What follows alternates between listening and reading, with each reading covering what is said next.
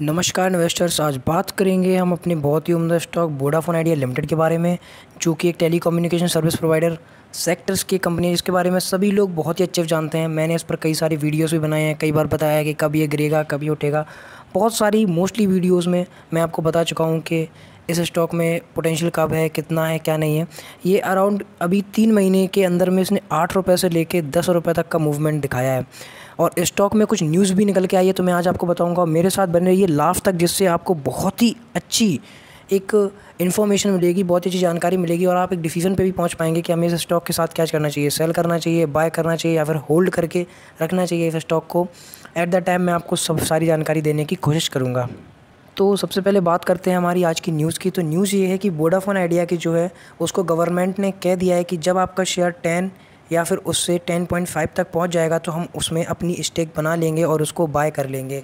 As a देर से SEBI norms भी कुछ लगाए गए हैं, जैसे कि V I L share stabilise at ten और अब जब उसका स्टॉक दस और दस से ऊपर पर स्टेबलाइज हो जाएगा तो उसके स्टॉक्स को खरीद लिया जाएगा बाई दी गवर्नमेंट देखिए, ये एक अच्छी न्यूज़ भी है और कहीं तक हमारे लिए एक ऐसी न्यूज़ है जिसका हम वेट कर रहे थे कई समय से। अगर मैं बात करूँ कि तीन महीने का अगर आप प्राइस चार्ट देखेंगे इसमें तो कुछ मूवमेंट आपको समझ में आएगा। बहुत ही सही मूवमेंट देखने को मिलेगा। लाइक ऐसे ऐसे करके एक अपर मूवमेंट के साइड में ट्रेंड कर रहा है। लाइक वाइज अगर देखा जाए तो स्टॉक में काफ़ी अच्छा पोटेंशियल हमें देखने को मिल रहा है आगे आने वाले टाइम में बिकॉज़ ये जो इसकी स्टेक भी है, वो भी गवर्नमेंट द्वारा ले ली जाएगी। जब ये टेन पॉइंट के समथिंग कुछ स्टेबल हो जाएगा, कहीं हद तक स्टॉक भी पूरी कोशिश कर रहा है कि अप ट्रेंड बनाने का कि हाँ उसमें एक मोबिलिटी आए और एक अच्छा खासा मूवमेंट हमको देखने को मिले इन द अपकमिंग फ्यूचर तो देखिए मूवमेंट हमको ज़रूर देखने को मिलेगा बिकॉज़ जब गवर्नमेंट अपना स्टेक बनाएगी तो उसमें इसको बाय करने वालों की भी जो संख्या वो भी बढ़ेगी तो इसके प्राइस में काफ़ी अच्छा मूवमेंट बढ़ेगा। तो फ़िलहाल हमें करना क्या चाहिए? देखिए, जो लोग इसको बाय करके बैठे हुए हैं around eight eight point five nine nine point five वो इसको बाय करे रहे हैं कोई दिक्कत नहीं है। अराउंड आप इसमें आराम से अपना मुनाफा निकाल सकते हैं आने वाले टाइम में। और फ़िलहाल बाय करना चाहिए नहीं तो मेरे ख्याल से अभी आप थोड़ा सा वेट करें, जो बायर्स हैं जिसको लगता है कि हाँ टाइमिंग अच्छी है, थोड़ा इसका एक और डिटेल विटेल निकाल के आप देख सकें क्योंकि मैंने इसका चार्ट पैटर्न वगैरह और जो टेक्निकल एनालिसिस था, वो मैं करके देख चुका हूँ। तो उसमें मुझे यही समझ में आया है कि अराउंड इसमें हमें थोड़ा वेट करना चाहिए जो नए बायर्स हैं, उनके लिए बता रहा हूँ मैं। क्योंकि जो प्राइस रेंज है, वो हल्का सा डाउन भी जा सकता है तो उसमें हमको बाय कर लेना चाहिएगा उस टाइम पे। देखिए मूवमेंट ये कंपनी चाहेगी कि ये टेन पॉइंट फाइव तक पहुँचा दे, जिससे इसकी स्टेक जो है वो कंपनी ले ले।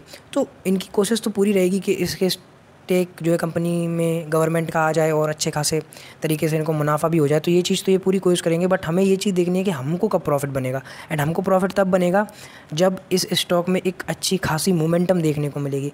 देखिए अराउंड मैं बात करूँ तो इस स्टॉक को आप बाय थोड़ा रुकिए और जो होल्ड करे हुए हैं वो होल्ड करके रखिए। एंड जो सेल करने की सोच है, वो भी अभी रुकिए, वो होल्ड करने की मेरी उनको सलाह रहेगी, क्योंकि उन्होंने अच्छे खासे अमाउंट पे उसको बाय किया होगा, जब भी बाय किया होगा। तो वो जो बायर्स हैं, वो हल्का सा रुकिए दो चार दिन वेट कीजिए, आपको एक अपॉर्चुनिटी मिलेगी, मैं आपको खुद इन्फॉर्मेशन दे दूँगा देन आपको इसको बाय करना है। चलिए, इतना मेरी तरफ़ से आपके लिए था। मैं भी इस स्टॉक में सोच रहा हूँ कि कुछ अमाउंट में इसकी बाइंग करूँ तो मैं आपको अपडेट कर दूँगा अपने अपने डिस्क्रिप्शन पे या फिर उसमें पोस्ट डाल दूँगा अपनी कम्युनिटी पे तो उस पर आप जाके देख सकेंगे। दैन अभी के लिए चलते हैं। शुक्रिया, धन्यवाद। मुझे लगा था कि इसके बारे में आपको इन्फॉर्म कर देना चाहिए तो मैंने आपको कर दिया। धन्यवाद। मिलते हैं अगली वीडियो में, अगली किसी स्टॉक के साथ।